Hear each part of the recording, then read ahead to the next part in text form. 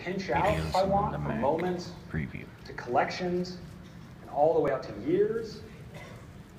I can scrub through my photos like this, even in year view. If I find a photo I like, just let go and zoom right in. You watch as I magnify this photo, the interplay with the title bar. It's really gorgeous.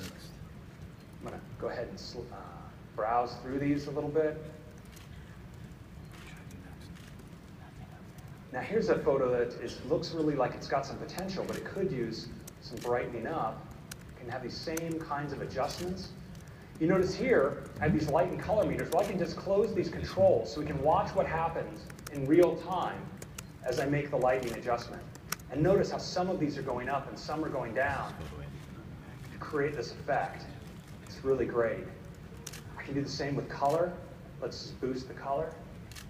Bring out the sky, bring out the skin tones.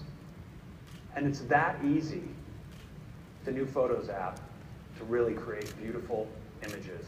And that's a quick preview of photos coming to Yosemite in the future and to the new photo solution with iCloud Photo Library coming with iOS 8.